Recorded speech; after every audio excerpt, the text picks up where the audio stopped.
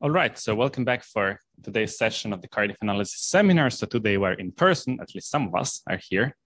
And we're delighted to have Ian Wood from University of Kent, um, who will talk about the spectrum of Maxwell equations for the flat interface between homogeneous dispersive media. So thank you very much for accepting our invitation and taking the long journey for the British Railway Network. Um, and uh, over to you. Okay, uh, that's right. Thank you very much for the uh, the invitation and the introduction. Yes, it's uh, it was a, a longer journey than planned yesterday, but uh, yeah, I made it in the end. Uh, yeah, it's good to be here. Um, so this is joint work with Malcolm Brown, Tomas Dohnal in Halle, and Michael Plum in Karlsruhe. Um, so it's stuff that we're, well, we're still writing up basically. So this is the first airing of this. So uh, if anyone has any comments on it, then they're, they're very welcome at this point. And uh, yeah, up until, well, I think the last week before Christmas, we were still having joint meetings with all of us on, on Zoom. So uh, anyway, um, so this is roughly uh, uh, an outline of what I want to talk about. So I'll first say, uh, talk about the time harmonic Maxwell equations I'm going to be looking at, uh, and then I'll talk about uh, 1D and 2D reductions that we're going to make. So we're going to uh, uh, look at models which are a bit easier to deal with. I'll then talk uh, a bit generally about operator pencils and their spectrum, um, and then I'll talk about results for the 1D case mainly, um, and I'll try and give some, some outline of the proof there.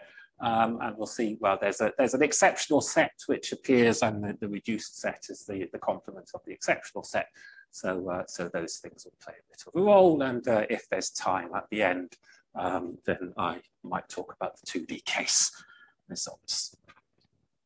Okay, so uh, we've got Maxwell's equations for the uh, the electric field and the magnetic field and the, uh, the electric displacement field D and the, the magnetizing field H, right, which uh, we're going to assume take the following form. So the mu naught and the epsilon naught are, are going to be constants.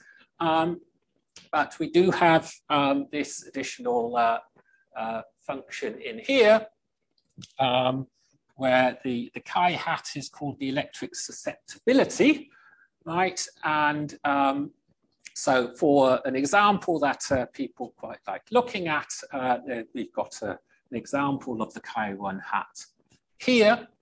So um, the, uh, well, two points to make. The first thing is we're going to assume that in terms of spatial uh, dependency, it only depends on the x1, right? So we're actually going to have an interface between two materials at x1 equals zero. Um, and um, the omega is, of course, the, the spectral parameter that we, we sort of started out with. And we're going to assume that uh, in some of the, the materials, the, the properties are going to be uh, frequency dependent. So for the so-called Drude model of a metal, for example, um, the, uh, the function would take this form. And we see that, of course, uh, there are singularities of the denominator here. So that's this set S uh, that we're excluding, right? So we're not allowing that, or excluding the singularities of the chi1 hat. Okay, um, so what we're going to do is we're, we're now going to reformulate it as a second order problem, right? We're going to look at a second order equation for the uh, electric field. And so then the equations look like this right? So I should probably start with the W tilde. So the W tilde is epsilon naught mu naught times this, uh, this omega dependent uh, part of the function. And because uh, the condition was the divergence of the, the D field should be zero, um, that then becomes the divergence of the W tilde times E has to be zero. And in the, uh, the actual uh, second order equation for the E field, we have curl curl E minus WE is zero, where the W is just omega squared times the W tilde. Okay, now, um, so we said that the, uh, the chi can have some uh, singularities, uh, so we want to exclude them, so we denote the set uh, uh, without the singularities of the chi as the domain of the W tilde. And um, there's something which probably from the physics point of view, it might not be that interesting, but mathematically uh, is something that we did actually look at a bit. Um, so there's a difference between the functions w and w tilde, essentially just as omega equals zero, right? So if omega is a fixed frequency which is non-zero, then of course the properties of w and w tilde will be basically the same. Um, but if omega is zero, then um, obviously the, the w is then quite different from the w tilde potentially, and in particular the W tilde could have a singularity at zero, which is cancelled out by the omega squared term. Okay, and so, as I said, we're going to assume we have an interface at uh, x1 is equal to zero, and we're going to assume that uh, in terms of the space, the material is homogeneous in each of the two half planes, right? So that means that the W tilde and the W, rather than, or as functions of the two variables, we can uh, reduce it to two different functions of one variable in each of the half planes. So this is the w tilde plus minus and the w plus minus, which are then just functions of omega. Right, and well, uh, we'll get into the interface conditions in a bit more detail later, but basically because, of course, if the w and the w tilde have discontinuities across the interface, then um, that is going to uh, impose interface conditions on, uh, on the field E here to lie in the, uh, the domain of the appropriate operator. Yeah.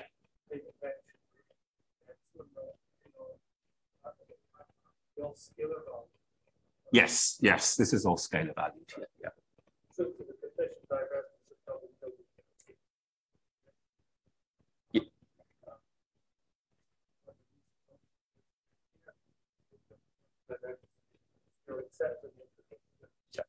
Yes, yeah. So uh, um, that's correct. Yes, so the, the W tilde, the, the divergence condition is basically just a divergent condition on E, except at the interface where you get a, a some kind of jump condition. Okay, so uh, the one-dimensional reduction that I want to look at is that I'm going to assume that the E field, so actually I'm going to look at a family of one-dimensional reductions parameterized by K.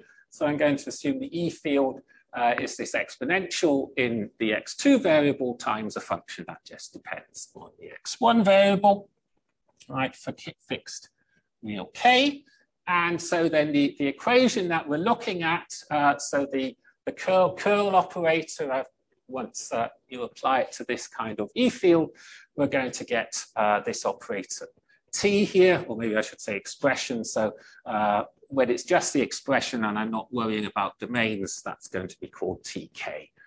Um, we'll get back to domains in a little bit. All right, so the TK is basically just the curl K, curl K operator, and this curl K operator is, well, the, I guess the gradient K operator, I should call it here, uh, is uh, just uh, uh this operator here, where obviously the uh, the derivative with respect to the x2 variable just gets replaced by ik, and uh, it's independent of the x3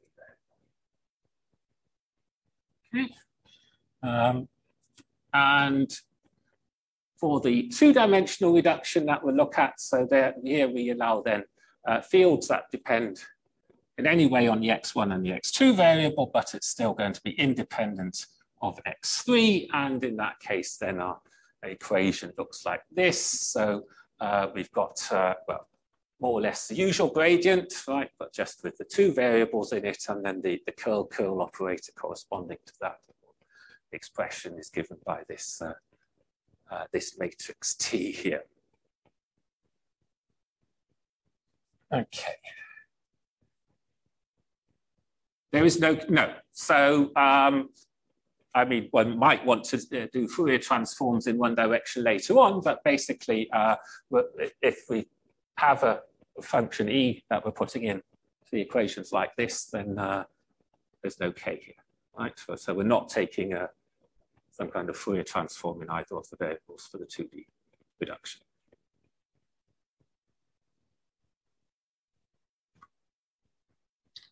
Okay, so um, we're going to well, we want to look at spectral properties of this problem, and uh, we're going to model it by an operator pencil, right? And um, we're going to be looking at families of operators which uh, depend effectively on two variables, right? Um, so the omega is the omega that we've seen before, right? But we also introduce for some cases, it's going to be useful to have a, an extra auxiliary uh, parameter, which is the lambda here.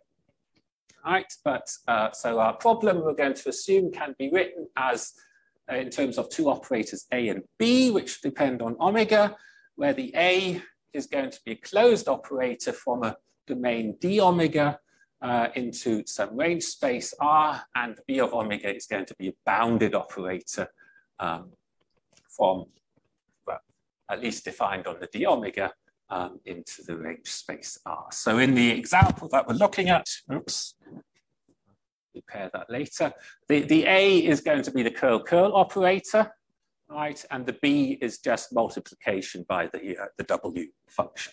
So that's what we're going to be looking at.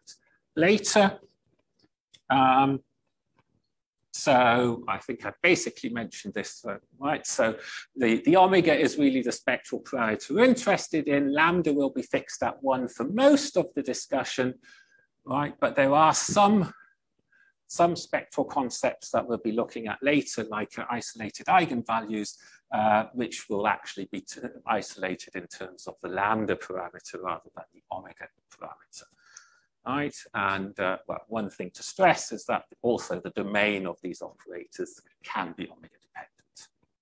And it will be in, um, in our case, right? Because well, the domain is going to include the divergence condition and that depends on omega. Ah, okay, and so just so maybe as a motivation for uh, bringing in this additional spectral parameter lambda, right? So if our domain is not contained in the range space, and in our case it won't be, um, then of course it does not make sense to look at an expression like uh, the operator minus mu times the identity because the identity is not going to map between the appropriate spaces, right? Whereas uh, if we subtract multiples of b, then we will end up in the space that we want to end up in. Okay, so um, the resolvent set of the pencil is now going to be uh, the, the, set of omegas such that P of omega and 1 is bijective with a bounded inverse. Right, or in other words, um, if we think of just the operator P of omega 1, uh, I want 0 to be in the resolvent set of that operator right? And then of course the spectrum, the complement is going to be the set where zero is in the spectrum of the operator P omega one. Um, so we're going to try and analyze all kinds of parts of the spectrum here. So we're going to be interested in the point spectrum, um, which is uh, what you'd expect, right? So the point spectrum consists of those omega where the, the operator P of omega 1 has a non-trivial kernel. And then we're going to be interested also in the, um, the multiplicity of eigenvalues. And so we've got finite and infinite multiplicity eigenvalues. And um, the multiplicity that we're, we're, looking at here is the, uh, the algebraic multiplicity, right? So uh, this is giving us the number of, uh, of eigenfunctions and all of the, the corresponding root functions or vectors as well that we're, counting here for the multiplicity. It'll turn out actually in, in what we're doing that the algebraic and the geometric multiplicity coincide anyway. Right, um, now one of the main tools we're going to be using are Weyl sequences to get at parts of the spectrum. So the Weyl spectrum uh, consists of those, uh, those omega um, such that a Weyl sequence exists and a Weyl sequence is a, a sequence of functions um, which are normalized in the, uh, the domain space. Uh, they converge weakly to zero and such that if we apply the operator to them, um, then that is going to converge strongly to zero in the range space. Um, so nothing really unusual here. The only thing that may be slightly uh, different is that we're, we're using two different spaces here, right? Our operator on a pencil in principle maps from one space H into another space R. Right, now we're going to be interested in different parts of the essential spectrum um, in this situation, right? So um, if you have a non-self-adjoint operator, um, then there are various definitions of the essential spectrum. Um, so you could find this, for example, in the book by uh, Edmunds and Evans. Right, and um, so we also want to look at these in our context here. And um, so the first four are reasonably straightforward, right? So we're saying that uh, the omega is in the, the first form of the essential spectrum, so the sigma E1, if, and now we're just looking at the P of omega 1 as an operator, is not semi-Fredholm. Right, so um, it would be semi-Fredholm, or if it is semi-Fredholm, that means the range is closed, and either its kernel or its co-kernel is finite dimension right? And then for, for the other three, uh, we start to uh, impose less and less conditions on um, what P of omega 1 is, right? Or more conditions of what it not should not be. So for the, the second version, it's semi-Fredholm operators, but now the kernel has to be finite dimensional, right? It's not just not the kernel or the co-kernel anymore, it's the kernel has to be finite dimensional. In the third version, the kernel and the co-kernel both have to be finite dimensional. And in the fourth version, the dimensions of the kernel and the co-kernel have to coincide, right? So that it's then going to be a Fredholm operator with index zero. Right, so those all generalize uh, very straightforwardly um, from the usual definition for operators. The fifth definition is a little bit weird. Um, possibly. And this is where one where the, the parameter lambda uh, comes in again. So in the fifth version of the essential spectrum, if uh, one is not in this set delta for the uh, family P of, so now we fix an omega and we're looking at lambda as the spectral parameter, Item this set delta consists of connected components of uh, you like, the lambda, or in the lambda uh, plane now, where the P of omega lambda is semi-Fredholm, and that contain uh, a point of the resolvent set. Right, so um, again, this is, if you like, in some ways just a gen generalization to this situation of the, the standard definitions of all these versions of the essential spectrum.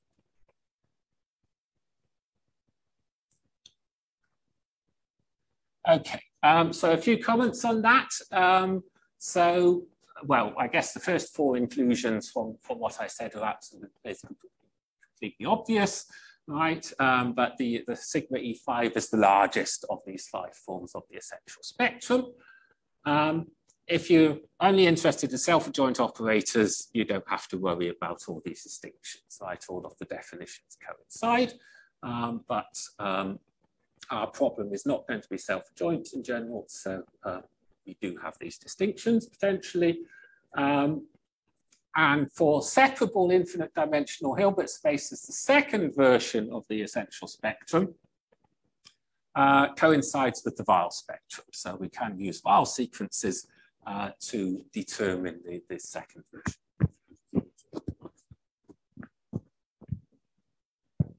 Put this back on again.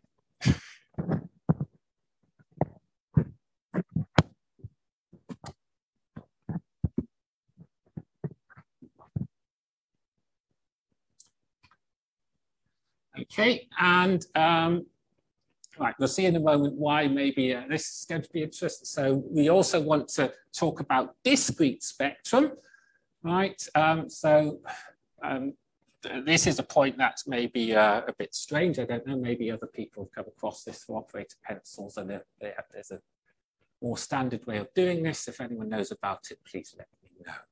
Um, but we're going to say that omega is in the discrete spectrum of the pencil if and only if one is in the discrete spectrum. Now, uh, of the operators P of omega uh, with parameters. So that means that lambda equals one needs to be an isolated eigenvalue of finite algebraic multiplicity of the uh, eigenvalue problem. A omega u equals lambda B omega u. All right, so if we do this, uh, this does not mean uh, that the omega in the discrete spectrum is in any way isolated from other points in the spectrum of the pencil, right? Because it's the discreteness is referring to the lambda variable and not the omega variable. So if you think of a very trivial situation where uh, you don't actually have any omega in, uh, dependence here, right, then um, either all points in the complex plane are going to be in the discrete spectrum or none of them are, right, depending on whether one is an isolated eigenvalue of the corresponding uh, lambda eigenvalue problem right? But uh,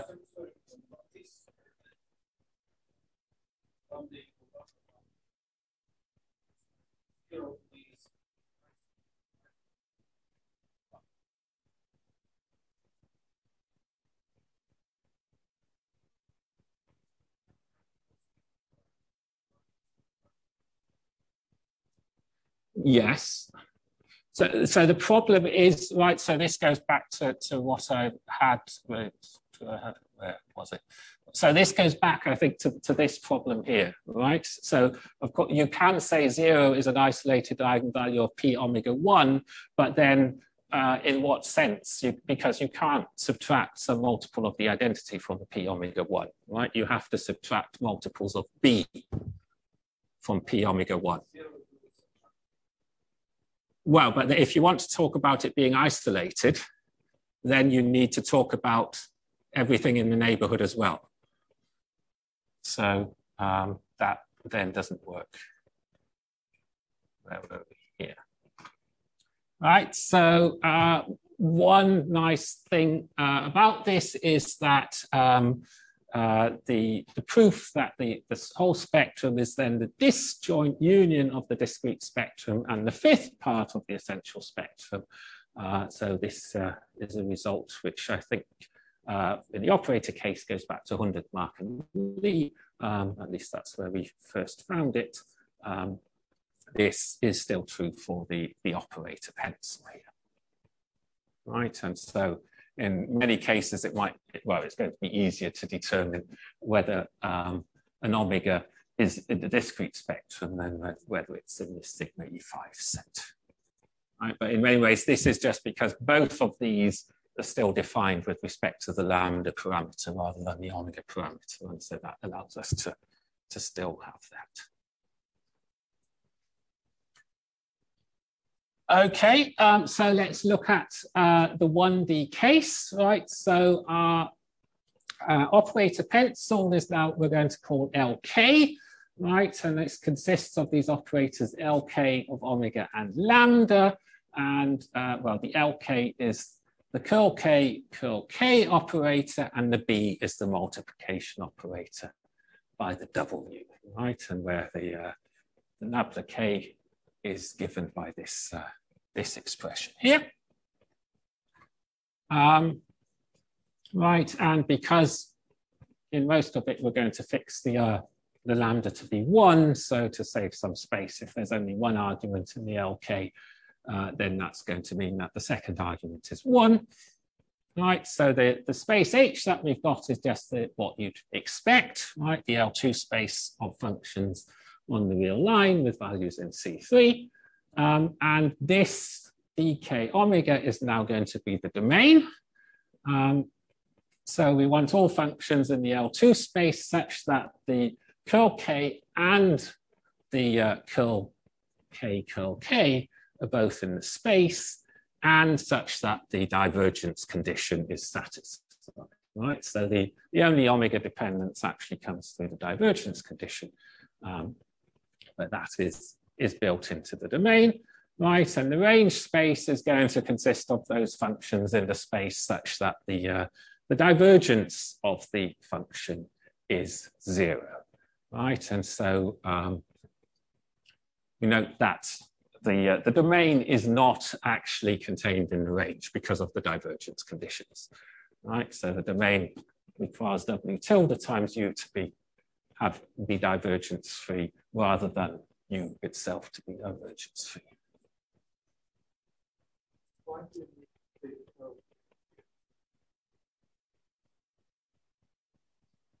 Um, we basically because uh, well, if we go back to the the one D system, or oh, sorry, not, you go back to the, the first order system, then that's one of the uh, um, quantities that needs to that we want to have in the space.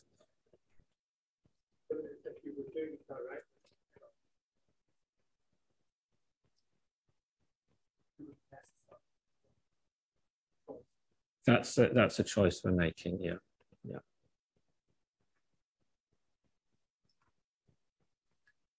Okay, uh, so I mentioned interface conditions earlier, so uh, here they are explicitly.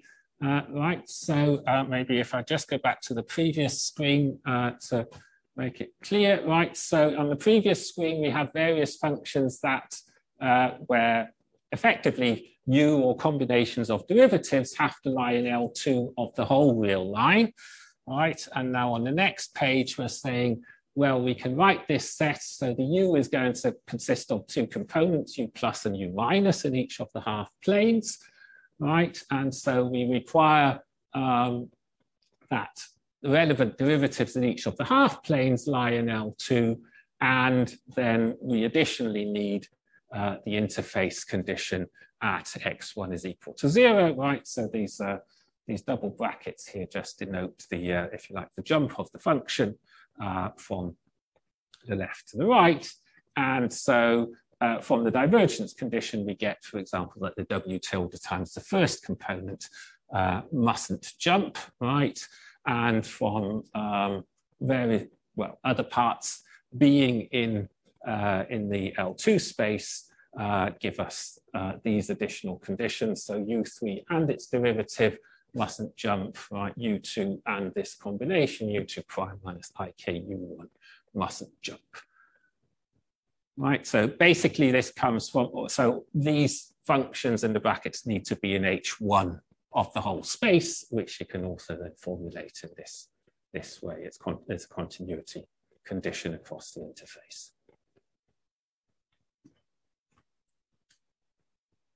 Okay, um, so uh, I mentioned at the beginning, we've got what we call the exceptional set, which is this omega naught, and that's going to consist of those omegas where either the W plus or the W minus vanishes, right? Which is probably uh, not very physical apart from uh, the case where omega itself is zero, right? So remember the W plus and W minus for omega squared times the W tilde right? So when omega is zero, um, we expect that to lie in this set. Um, but at least from a mathematical point of view, we can also look at the case when uh, we might have a material where in one of the half planes, the W actually itself vanishes. Right, and mathematically, this leads to, to some interesting uh, things that we'll see later. Okay, so the, the reduced spectrum and the reduced resolvent set are just going to be defined as the spectrum and the resolvent set outside of the exceptional set. Um, and so now I'm going to introduce some of the sets that we need to describe the spectrum. So an important role is played by uh, this equation here. So k squared times the sum of the w's is equal to the product of the w's right? And so with that, we're going to look at these three sets in particular. Uh, so we've got the M plus and minus set. Uh, so this consists of the omegas where the W plus or the for the plus and the W minus for M minus lie in K squared infinity, right? And the um, NK set consists of those omegas where the W plus and the W minus are not in there the interval k squared infinity, um, but where they do satisfy this equality three. Right, so basically uh, the idea here is that we're going to get, oh, so all of these are going to be in the spectrum. Essentially the M plus is uh, coming from stuff that happens at plus infinity. The m minus is coming from stuff that happens at minus infinity. And this nk set here is going to be the one that comes from the interface.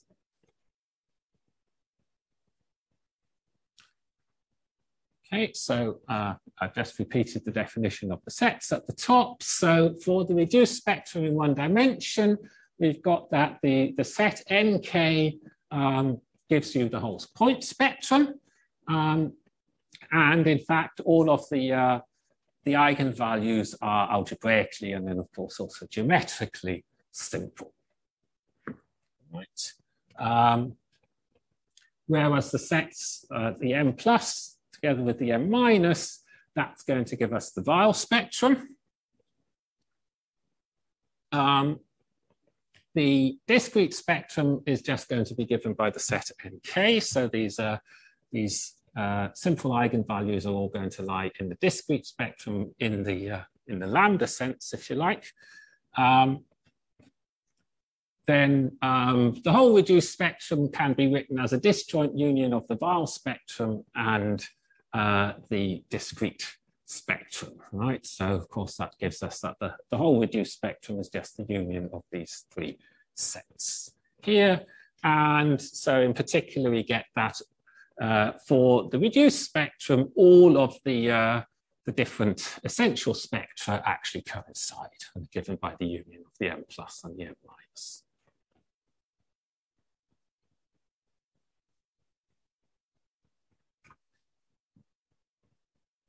Okay, um, so just a couple of remarks. So this set NK, uh, we had this, uh, this equality three that I had earlier, right? In fact, if you are in NK, you, we know that the W tildes or the sum of them is non-zero, so we can divide through by them. And um, apparently uh, in the physics literature, this is a well-known condition for the existence of a plasmon. So that's uh, uh, some kind of uh, wave that's concentrated on the interface. Right, um, and if we don't really have an interface at all, right, uh, then there are no, or the, the, the, sets nk are going to be empty, um, as one can quite easily see from the, uh, the equation, right? Uh, so, um, not sure I should attempt this here, but uh, um, it's very easy to see that NK will be empty if the W's both coincide, right? So uh, right here we'll, we'll, get W squared over 2W. Um, so the omega squared doesn't feature in it. And so then uh, the K squared is, well, it's, yeah, so, we go back to the NK, right, so that's assumed that the W plus and the W minus are not in K squared infinity. Um, and if the two are the same, um, then that equality is going to give that W plus and W minus are both in that interval. So that can't happen. Okay, so I want to uh, give an outline of uh, how to prove uh, these results, right? I mean, uh, in this case, it's all going to be ODE problems, so it's fairly easy to, to do this. So the first step is to show that um, the spectrum is contained in the union of these three sets. Right, so effectively that of course means that if we're outside of these three sets, we have to be able to calculate the resolvent. Um, and so that means we need to satisfy these three equations here on both the positive and the negative half axis. And then we need to make sure that uh, uh, our solution satisfies the divergence and the interface condition. Right now, um, if you solve the first equation for u1, differentiate that and plug it into the, the second equation, then uh, we end up with this equation here for u2, which is of course actually the, the same as for u3, right? And so we can solve this using variation of parameters, first of all, um, and here we're using that um, the square root of this term here is uh, in the has positive real part. So that's what I mean by lying in C plus here. So C plus is the right half plane with positive real part.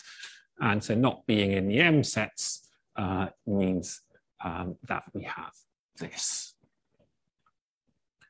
Right, and then um, obviously we have to impose the, the interface conditions and uh, um, there's a fair bit of calculation to do, but uh, ultimately one can then see that as long as this equality that appears in the set NK uh, is not satisfied, uh, then we get a unique solution here. Right, so we can explicitly solve this. Right, now let's look at the, the eigenfunctions in the set Nk. Right, so um, the eigenfunctions have the, the following form. Right, so again, we've got this, this mu plus minus as the k squared minus w plus or minus and the square root of this, which uh, in the set Nk are going to lie in the positive right half plane. Um, so the maybe I shouldn't have taken to psi here. I think I formulated things in terms of u previously. So the psi 3 satisfies um, a second order equation. Let's just go back to the previous slide, right? So we're basically looking at these three equations with right-hand side zero now. Um, and both the U3 and the U3 prime had to be continuous on the interface, right? And so that gives us that the, the third component is going to be zero.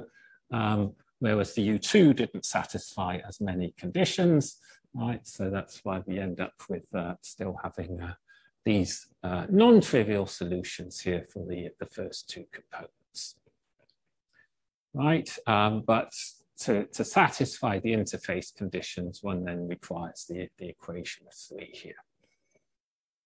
Right, so that means we have to like, rely on the set NK. Right, and simplicity we get from uh, looking at uh, this solution psi that we have, right? And we show that it's not perpendicular to the kernel of the um, adjoint operator. So the adjoint operator in this case is one that's basically of the same form, right? You just replace W by its complex conjugate, and uh, you have to replace K by minus K um, but it's an operator of exactly the same form. So we know uh, that elements in its kernel uh, basically have the same form as this, right? And so we can show that the psi is not orthogonal uh, to those, right? Which means that the psi does not lie in the range of, uh, of the operator LK. So we're not going to be able to, uh, to build up any kind of Jordan chain uh, with it, right? So they're all algebraically simple. Right, so the next uh, step is to actually create some uh, sequences. So that's what we're going to do in the set m plus and m minus. Right, and so our Weyl sequence is going to look like this. So let's look at the first term first, right? So the phi is just a cutoff function right? And I'm looking at the case when omega is in m plus, so we can see that the phi, or this function is going to be uh, supported near x1 is n squared, right? So this is going off to plus infinity. Um, now we choose the psi here that's multiplied by the phi to be a solution of uh, this equation here, because we're in the set m plus, right? Um, we're going, we we're going to have solutions to that.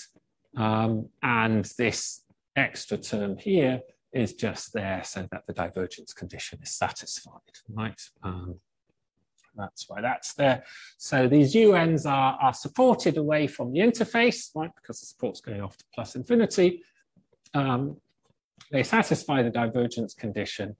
And uh, well, because this, this made term here, when you apply the operator to it, uh, because of psi satisfying this equation is going to, the main part is going to go to zero, um, we get that uh, it converges to zero as n goes to infinity, right? So we've got Weyl sequences going off to plus infinity, and you can do the same thing going off to minus infinity if omega is in the set m minus.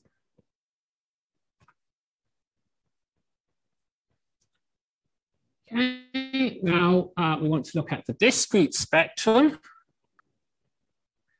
Right, so what we want to show is that lambda is an isolated eigenvalue uh, for this, this problem here. So I've written it in terms of the T's and the W now again, right? Um, and note that uh, lambda is an eigenvalue for this problem uh, if and only if one, sorry, lambda is in the resolvent set for this problem, if and only if one is in the resolvent set for a scaled problem, right, where these scaled operators with a superscript lambda um, just have a, well, that's the parameter lambda in here. So essentially you just replace the W by lambda W, right? Um, and well, this is then also equivalent to saying that the omega is in the resolvent set of a, an operator pencil, which is scaled by this lambda. Right, but by the first result, we certainly know that um, the if we have an omega which is not in uh, the exceptional set or the union of these three sets, uh, then we're in the resolvent set, right? But now all we have is uh, we're scaling, we're just multiplying the W by the lambda, right? And so these sets MK lambda uh, and NK lambda are just the corresponding sets where we replace W by lambda W. Right, and then it's not it's not hard to check that if we have an omega in the set NK, then it cannot lie in any of these sets here. Right, so that's uh, that's what we do here, or at least if we're if we're close enough to one, right? So we only need to show that there's some neighborhood of the point one such that uh, um, apart from the point one potentially itself, uh, the uh, no lambda in this neighborhood will lie in these sets, right? Um, so we know it's not in omega naught because uh, it's in nk. Um, it's not in the NK lambda because the fact that it is in NK means that uh, this first equality holds, right? But being in NK lambda, because you've got the W squared in the numerator and uh, just linearly in the denominator, would have to satisfy the equality with an extra factor lambda in there. And of course, it cannot do that uh, simultaneously. Um, and it's not going to be in the m plus minus k lambda sets because the condition for being in uh, the m plus minus k lambda sets would be that lambda w plus minus of omega uh, is in k squared infinity, right? But omega itself is not in the mk set, so that means w plus minus is in the complement of k squared infinity, which is an open set. Uh, so for lambda close enough to one, also lambda times w is going to still be in that open set. Okay, so that gives us the discrete spectrum. Type. Okay. Uh, what time roughly should I finish? In 10 minutes. Okay, right. Um, okay, um, so um, I think pretty much the last part we need to prove is all of the essential spectra coincide and are given by this union of the M sets. Right, so what we've shown so far is that the union of these M sets is uh, contained in the Weyl spectrum. We've shown that the NK spectrum is the discrete spectrum. And we also know that the spectrum itself uh, is contained in the union of these sets. Of course, the first two means that, that these sets are all contained in the spectrum. So we definitely get equality in the last line here. Um, then uh, well, the Weyl spectrum is a subset of this E5 essential spectrum, and we know that that is disjoint from the discrete spectrum. And so that means that uh, actually uh, we get equalities in all of these, uh, these lines here. Right, so the only thing that's left is that to show that this, uh, this first definition of the essential spectrum actually coincides with all the others as well. Okay, um, so let's assume we are in the, the second version of the essential spectrum.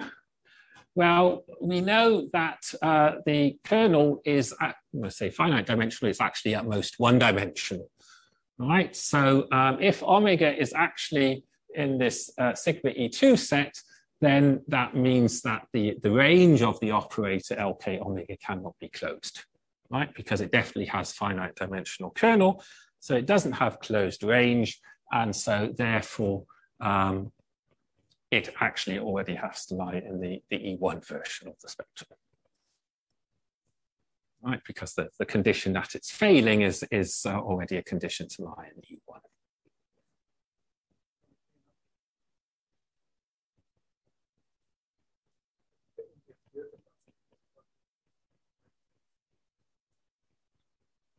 Uh, okay, sorry, yes. So the, the sigma E2 and the sigma Weyl coincide. Yes, I should have added that somewhere, but uh, that, that's, uh, that's why that's coming in here, right? So uh, we've shown that the Weyl spectrum essentially, by the arguments above, has to coincide with uh, the sigma E5. And so then, because the Weyl spectrum is the same as sigma E2, it's just the E1 that potentially could be different. Okay, um, so now we've got the exceptional set, right, which in some ways mathematically is maybe more interesting.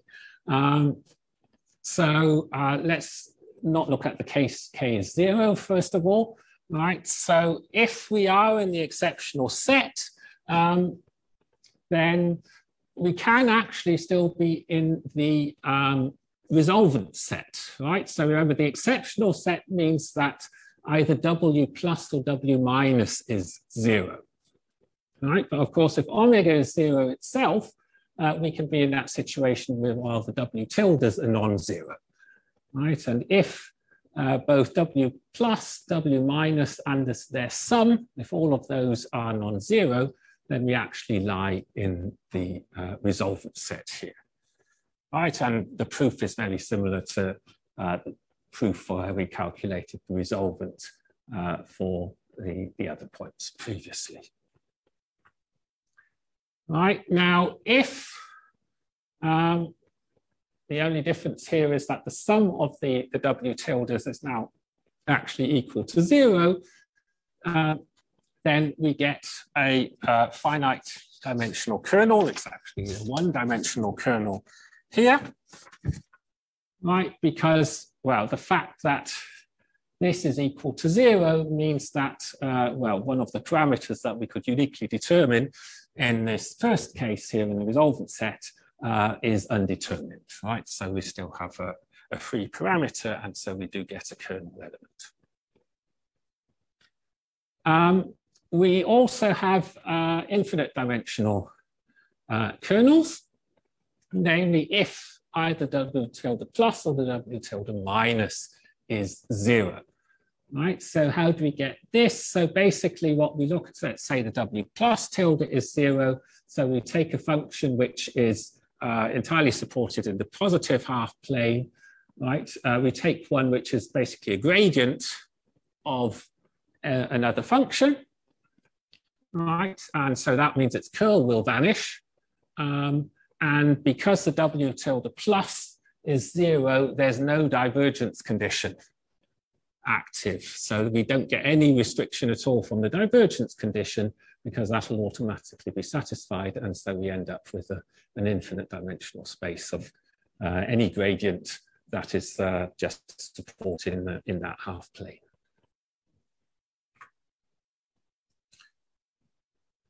Right, so um, most of the essential spectra coincide. So the second, third, and fourth version, and of course, the second version is the same as the Weyl one. So they coincide and are just given by this, this set here, where one of the W tildes vanishes.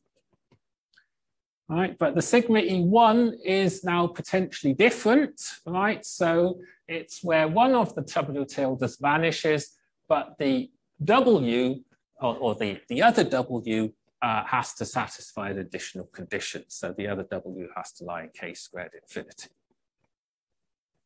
Right, whereas the, the fifth version of the essential spectrum, so this is the largest one, um, well, it's the whole set omega naught unless uh, zero is in the resolvent set, in which case you just take out that uh, one. Right, but uh, Okay, so uh, there's another statement here. So the discrete spectrum in this case is empty. Um, So maybe I'll, I'll, not say anything about the k equals zero case, right? So that nothing too much happens in, in that case in the exceptional set, right? Um, so in the exceptional set, we do have uh, some things that we don't get outside it, right? So um, most of the, uh, the spectrum in the essential set is independent of k, right? The only place where the k enters, if I go back here, is in this sigma E1, right, where the W minus or the W plus needs to be an element of K squared infinity. Right, and the other thing is that the essential spectras do not always all coincide, right? So um, if we do have omegas such that um, one of the omega tildes is zero, um, and the other one is outside of this, uh, this half line, um, then we have points in sigma E2, which are not in sigma E1, right? And we also get points in sigma E5, which are not in sigma E4, right? And that's this, uh, this potential uh, finite dimensional uh, eigenvalue that we can get, right? So both of these can be uh, non-empty. So we genuinely have different essential spectra in the essential set, uh, in the exceptional set. Okay. Um, so maybe I'll go fairly quickly through the 2D case. Um, right, there's uh, probably uh, nothing too much unexpected happens here. Um, so again, we look at uh, an operator pencil, which is defined very similarly to proof four. Right, just now we have the this two-dimensional gradient rather than the uh, the gradient k uh, that we previously had. Right, the domain um, we want the fields, the curl, and the curl curl of the fields to lie in L2, and the divergence condition to hold, and the range space, uh, again, is just a divergence condition in the domain. Of course, the W tilde enters in the range, it does not. Right, so now we end up with uh, these three sets here. So the M plus and the M minus uh, consists of those omegas where the W plus or minus are in naught infinity and the set n consists of the w plus w minus uh, so that they're not in uh, zero infinity. And we have this equality here, which is uh, very similar to the one that we saw before previously, rather than a, we had k squared here. Right, so now this equality has to hold for some non-negative a. Right, so the reduced spectrum uh, is again given now by the union of these three sets. Uh, however, we don't have any point spectrum anymore. So in some sense, the, uh, uh, the, the eigenfunctions are smeared out um, and we, we end up getting a essential spectrum also from the, the set N here. Right, and uh, in all of the uh, essential spectra coincide. Um, and in the exceptional set, we don't get as many interesting things happening as in the one-dimensional case, right? So the, uh, we're always in the, uh, in the spectrum in this case. Um, we can have infinite dimensional kernels um, if any of these conditions on the W, tilde are satisfied. There's no finite dimensional eigenvalues anymore. There's no discrete spectrum. Um, and all of the essential spectra coincide. Right, so um, yeah, I think this is sort of the differences between the, uh, the one and the two-dimensional thing that I've already mentioned, right? So the, the eigenvalues vanish in the two-dimensional case. Um, so we don't have uh, you don't have point spectrum apart from this, this exceptional case here, right? And they're then eigenvalues of infinitely, infinite multiplicity and all the essential spectra coincide in two dimensions. Right, so maybe one thing to say, so for the two-dimensional case, maybe if I just go back to this, right, the, um, the proof, or the main proof here is actually to, well, you first have to prove that the points outside of this set are in the resolvent set, of course, so we construct the resolvent. Um, and then we prove that at all three sets here, we get Weyl sequences. So you can construct Weyl sequences going off to plus infinity and minus infinity, that gives you the m plus and the m minus.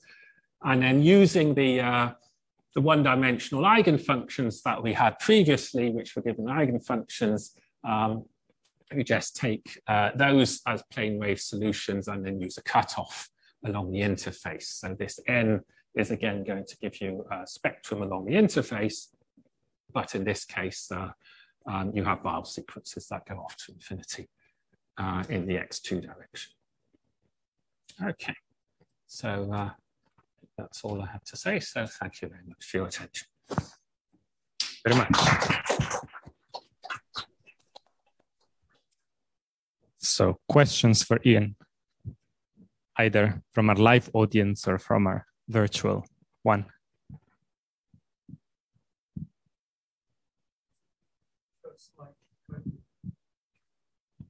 Yep. Um, so in, in, this case, the 2D case, uh, you say the reduced spectrum, there, there are no eigenvalues at all. Uh, no, so so so this is the exceptional set, right? So the reduced spectrum is is this one. Uh, so there's the, the point spectrum is empty here. Right. There's no eigenvalues at all in the two dimensional um, case.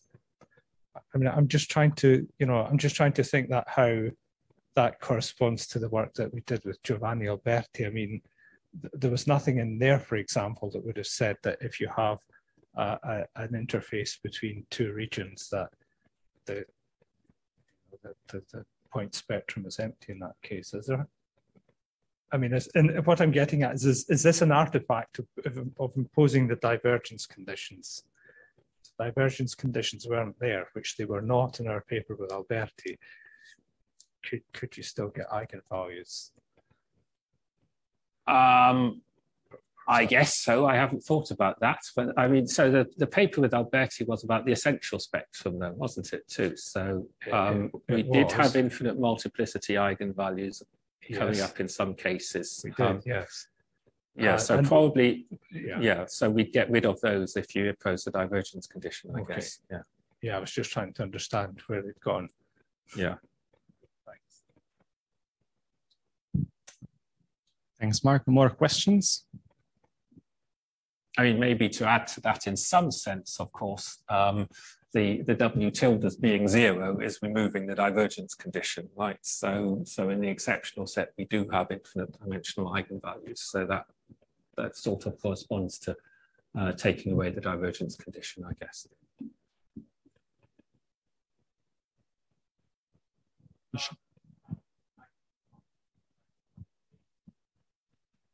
Um, so that was somewhere here.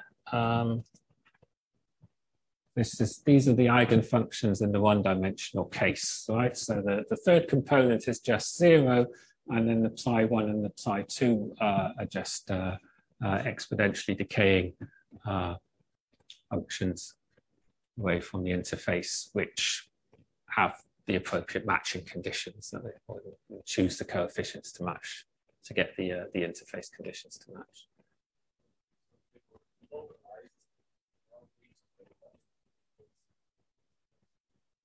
Yes, yeah, yeah, that's right. So, so yeah, in 2D the interface is infinite. So, yeah, these these would no longer lie in L2 if you go in the, that extra dimension. And so then, yeah, you, you construct the the Weyl sequence in the two-dimensional case by taking things like this and multiplying by a cutoff in the X2 direction, um, and then that gives you a Weyl spectrum there.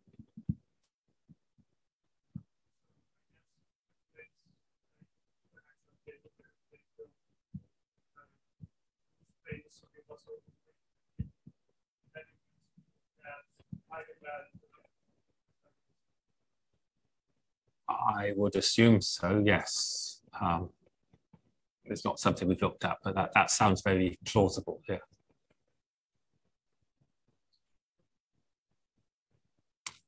Further questions? Do we have any questions from the question from chat? If there are no further questions, then let's thank Ian again for the very nice talk.